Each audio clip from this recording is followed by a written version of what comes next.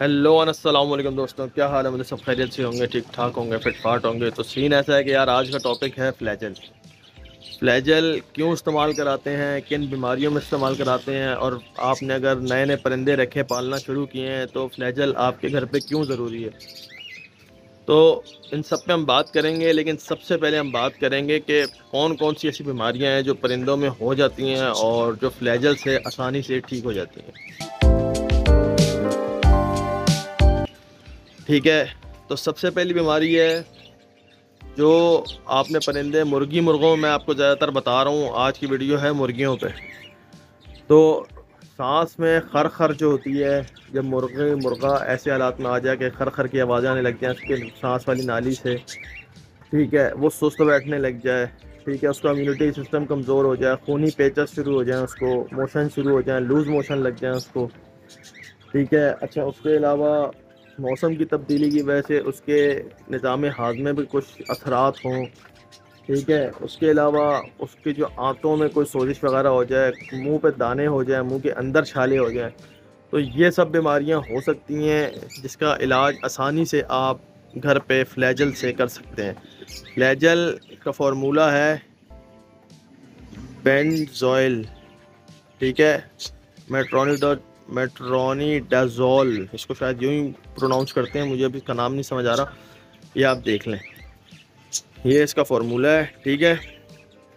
तो ये सब बीमारियाँ ऐसी हैं जो मैंने आपको बताई हैं कि इनसे ये बीमारियाँ जब हो जाए तो आप फ्लैजर उनको इस्तेमाल करवाएँ।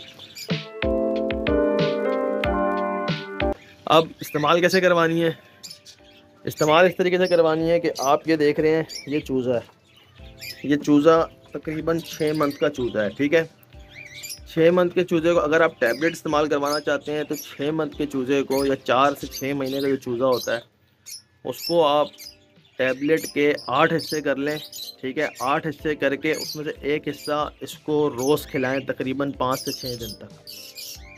ठीक है? अगर आप टैबलेट बच्चों को देना चाह रहे हैं, अगर ये देखें, जैसे ये अडल्ट मुर्गा है मेरे पास, अगर आप इसको दे रहे हैं तो आप टैबलेट के चार हिस्से कर लें ठीक है, और चौथा हिस्सा मुर्गे को दें लगातार सात से दस दिन तक, जब तक इसकी बीमारी ठीक ना हो जाए। ठीक है, ये दो तरीके हो गए। अब अगर सिरप आप देना चाहें, सिरप भी इसमें मिलती है, जो मैंने आपको सिरप दिखाई है। सिरप मैंने इसलिए रखी हुई है क्योंकि सिरप आसानी से डिज़ोल्व हो जाती है। ठीक है, और वो पानी रोज़ के रोज़ चेंज भी हो जाता है। तो वो उसका असर भी जल्दी होता है सिरप का थोड़ा सा। अच्छा जो टैबलेट मैंने बताई है, वो आपको बताई है 400 मिलीग्राम की। 400 हंड्रेड एम की टैबलेट बताई है, जिसका अगर चूज़े को देंगे तो आठ हिस्से करके एक हिस्सा देंगे उसको रोज़, और अगर अडल्ट को देंगे तो चार हिस्से करके 400 सौ की गोली रोज़ देंगे। ठीक है दोस्तों, अब आते हैं इस पर फ्लैजल सिरप इस तरीके से देनी है कि आपने एक लीटर का बर्तन ले लेना है। एक लीटर के बर्तन में आपने एक लीटर साफ़ सुथरा पानी और साफ़ बर्तन में पानी डालना है। ठीक है? उस बर्तन में पानी डाल के आपने नॉर्मल रूम टेम्परेचर पानी डालना है। ना ज़्यादा ठंडा डालना है, ना ज़्यादा गर्म करके डालना है, ठीक है? उसके अंदर आपने एक चम्मच, जो टेबल स्पून होती है, एक टेबल स्पून सुबह सुबह खाली पेट इनको दे देनी है, ठीक है? उसमें करना क्या है कि अगले दिन, एक दिन पहले जब आप उसको देने वाले हो ना तो रात के टाइम पानी हटा लें उसके सामने से, ताकि वो सुबह सुबह बहुत प्यासे हों सारे परिंदे। और सुबह सुबह आप ताज़ा पानी दें इनको, और उसमें एक चम्मच फ्लैजल दें, ठीक है?